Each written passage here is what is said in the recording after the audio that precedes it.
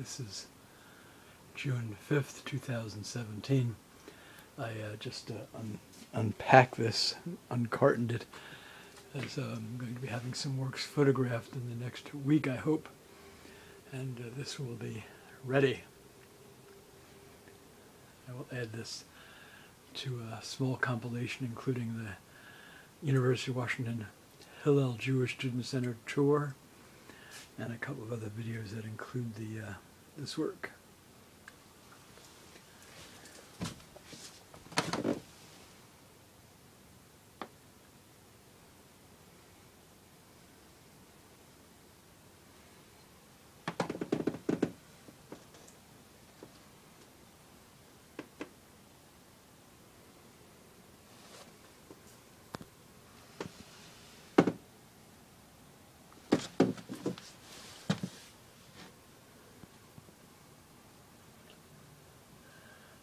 For the uh, reflection from the outside light there. And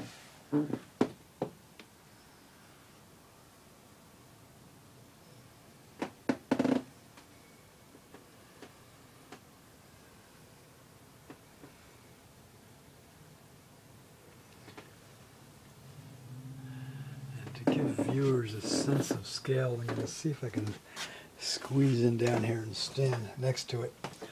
I'm uh, five feet, eight and a half inches, and shrinking. Goes with the age I'm at now. All right.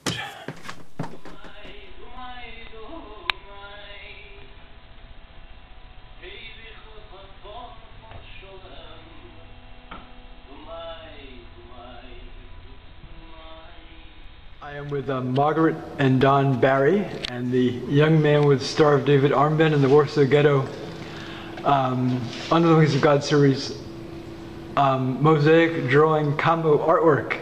It is uh, May 14th. 14th. Ready?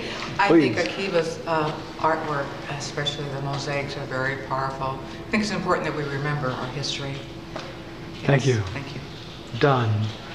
Hmm. I just was thinking back when we first met, it would have been interesting to have stayed in contact. Uh, I was off looking at mythologies, and you're off beginning this new trip, probably. Well, you had a few years to go before you decided that you're going to launch into this conversation. You're you talking about 1976 or? Yes, or a- I'm talking about 76. yes. Aha.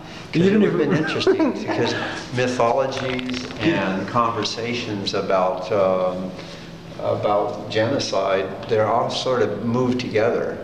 Uh, people just don't know how to relate to them. Hmm. And it's still happening. And it's- And it's still Yeah. present.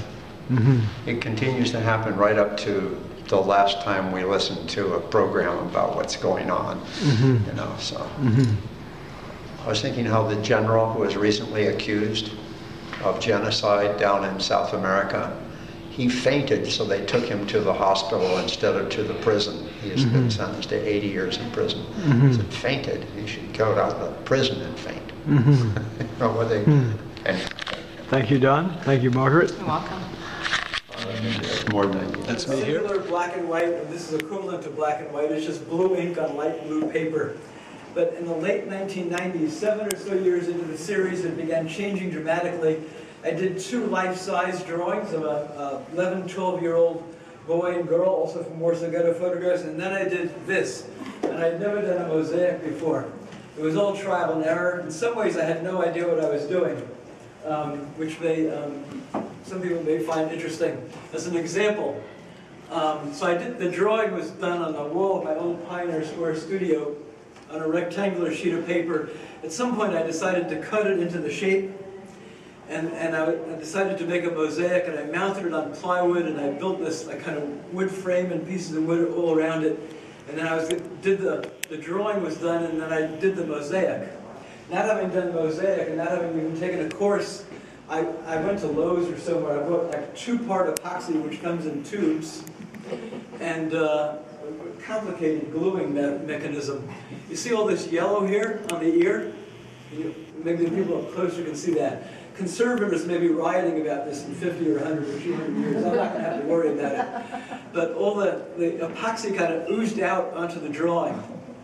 So when we get upstairs in a couple minutes, I'll show you how I solved that with the four mosaics I've done since. Got, we have one large mosaic up there. This is called Young Man with Star of David Armband in the Warsaw Ghetto. And you got all this different imagery going on many, most of which I took from a book I got from the library, black and white photographs taken by Polish Catholic and Polish Jewish architectural historians in the 1920s and 30s had gone around Poland, Lithuania, drawing and photographing, black and white photographs, all these wooden synagogues. I spent years in art college, and we, art history classes were required. Like you learn all about the synagogue building, it's inside the museum.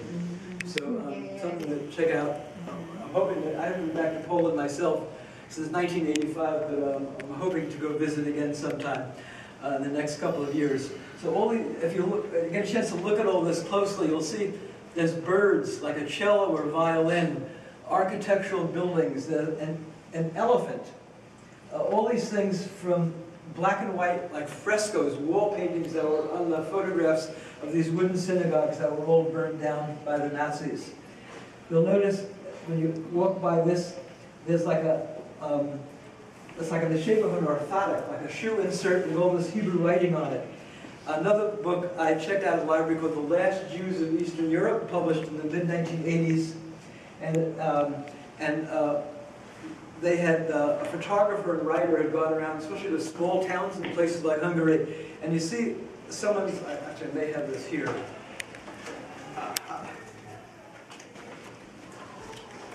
A resident of the town holding this. There's, I had it before. Is there a um, laminated thing down that way, by chance? No. Okay. Um, Trina mentioned that about the trains, it wasn't like people were seated in trains and like seats and stuff. There were cattle cars that prisoners were transported in. Day and night, uh, summer, winter, freezing, baking, no water, no food.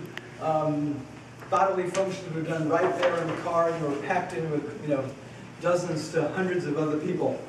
This is the uh, photograph uh, of the man that I did. Can I, why don't you come closer, please?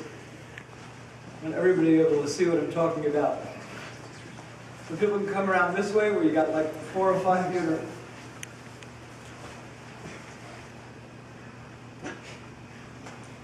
So, um, uh, back in, uh, well, Five of the mosaic drawing combos of the Under the Wings of God series.